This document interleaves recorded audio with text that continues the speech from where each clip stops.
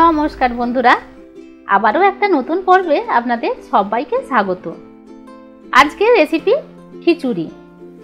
শুধুমাত্র শীতকালেই নয়, বর্ষাকালেও কিন্তু খিচুড়ি খেতে খুব ভালো লাগে। আর এখন যেমন সবজি পাওয়া যায়, তাই দিয়েই কিন্তু টেস্টি খিচুড়ি বানানোই যেতে পারে।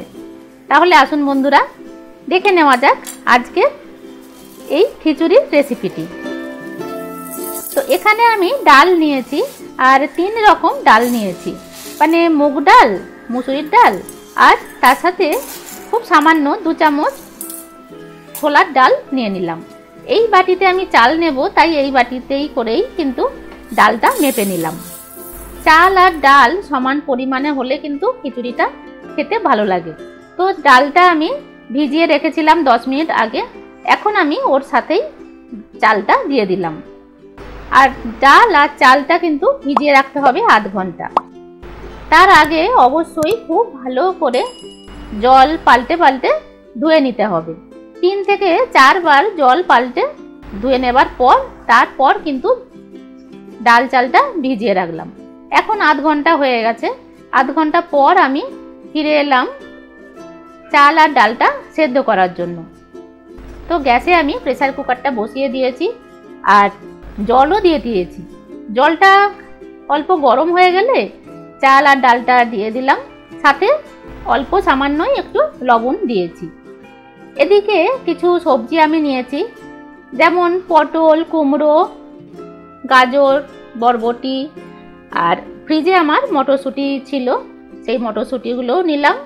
আর ফুলকপিটা আমি বাজারে পেলাম না। বাঁধাকপিটা অল্প দিয়েছি। এই সবজিগুলো আমি এখন একটু ভেজে নেব। তার জন্য গ্যাসে কড়া বসিয়ে দিয়েছি আর দু চামচ সর্ষের তেল দিয়েছি। সর্ষের তেলটা তেলটা গরম হয়ে গেলে সবজিগুলো আমি এক একে দিয়ে ভেজে নেব। প্রথমে দিলাম যে সবজিগুলো ভাজতে দেরি হয়, সেইগুলোই আমি প্রথমে দিয়েছি। তারপর একে একে বরবটি, কড়াইশুঁটি, বেগুন এগুলো একে একে দিয়ে দিলাম। এই সবজিগুলো হালকা করে ভেজে নিতে হবে।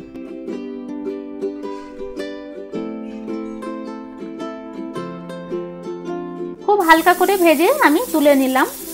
আর ওই কড়াতেই আমি মশলাটা কষে নেব, তার জন্য আবারও দু চামচ সর্ষের তেল দিয়ে দিলাম।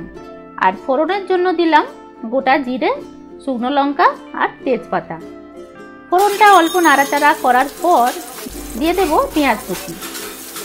একটা বড় সাইজের পেঁয়াজ আমি কুচি করে নিয়েছি।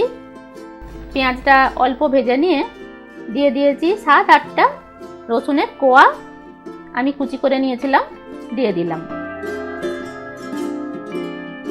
পেঁয়াজ আর রসুনটা ভেজে নেবার পর দিয়ে দেব টমেটো। দুটো ছোট সাইজের টমেটো দিয়ে অল্প লবণ দিয়ে আমি কষে নিয়েছি। আর এখন আমি দিয়ে দেব কিছু মশলা। প্রথমেই দিলাম আদা বাটা আর তার সাথে দিয়ে দিলাম হলুদ আর লঙ্কা। মশলাটা যাতে নিচে লেগে না যায় বা পুড়ে না যায়, তার জন্য অল্প জল দিয়ে কিন্তু আমি মশলাটা কষে নিয়েছি।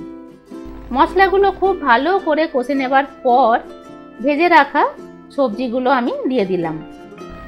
স্বাদ মতো লবণটা আমি এখনই দিয়ে দিলাম। তবে খেয়াল রাখতে হবে, প্রথমে চালের সাথে কিন্তু অল্প লবণও দেওয়া ছিল। তো এখন অল্প জল দিয়ে সবজিগুলো আমি কষে নিচ্ছি।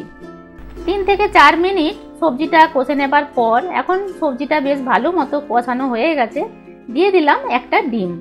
ডিমটা সরাসরি আমি এই মশলার মধ্যেই দিয়ে দেব।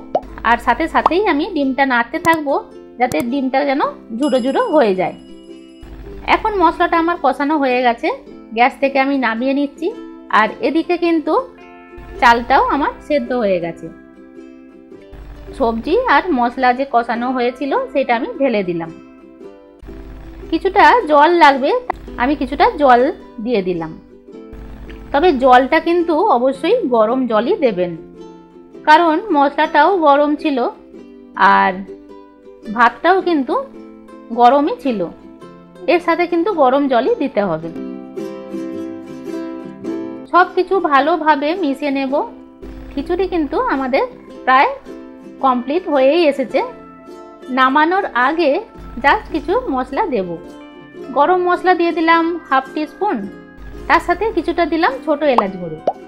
ভাজা জিরে গুঁড়ো আমি ওয়ান স্পুন দিলাম। মানে শুকনো খোলায় জিরে ভেজে গুঁড়ো করা সেই গুঁড়োটাই আমি দিয়ে দিলাম সবার শেষে। কাঁচা লঙ্কা, ধনে পাতা দিয়ে আবারও একটু মিশিয়ে নেব। দু তিন মিনিট লো ফ্লেমে রান্না করার পর আমি গ্যাসের ফ্লেমটা অফ করে দিলাম। আর নামানোর আগে কিন্তু ধনে পাতা কুচি আবারও দিয়েছি। ঘিটা কিন্তু অবশ্যই দিতে হবে খিচুড়িতে। তো আমি এক চামচ ঘি দিয়ে দিলাম। তাহলে দেখলেন তো বন্ধুরা, কত তাড়াতাড়ি এই সবজি খিচুড়িটা বানানো হয়ে গেল। আপনারাও বাড়িতে অবশ্যই করবেন আর করলে কিন্তু আমাকে কমেন্ট করে জানাবেন। রেসিপি ভালো লাগলে লাইক, শেয়ার করে দেবেন। আর এখনও যদি চ্যানেলটাকে সাবস্ক্রাইব না করে থাকেন তো অবশ্যই সেটা করে দিন। পাশে থাকা বেল বাটনটাও প্রেস করে দেবেন, যাতে যখনই আমি কোনো নতুন ভিডিও আপলোড করি, আপনার কাছে নোটিফিকেশান পৌঁছে যায়। তাহলে আজ এ পর্যন্তই। ফিরে আসছি নতুন রেসিপির সাথে খুব তাড়াতাড়ি। আপনারা ভালো থাকবেন, সুস্থ থাকবেন। ধন্যবাদ।